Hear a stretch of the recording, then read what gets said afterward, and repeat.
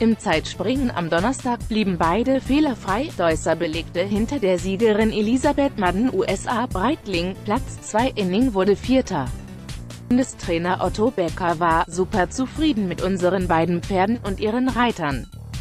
Das war für uns der erhoffte gute Auftakt. Markus Inning kann in Paris als erster Springreiter überhaupt zum vierten Mal den Weltcup gewinnen.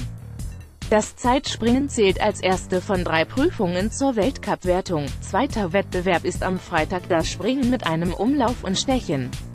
Die 30 Besten der Gesamtwertung starten am Sonntag im Finale mit zwei Umläufen und Stechen. Titelverteidiger ist MC Lion Ward USA, dessen zwölfjährige Stute HH Azur kürzlich vom Weltverband FI als bestes Springpferd der Welt ausgezeichnet wurde.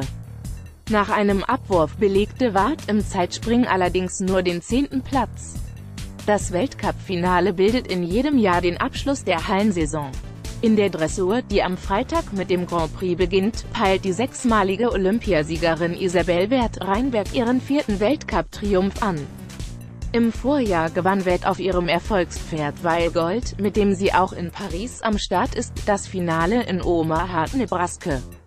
Neben Wert vertreten in der Dressur Jessica von Bredow-Werndl, Aubenhausen, mit dem Hengst und Ehe BB und Mannschafts-Olympiasiegerin Dorothee Schneider, Framersheim mit dem Wallach Sammy Davis Jr. Die deutschen Fahrer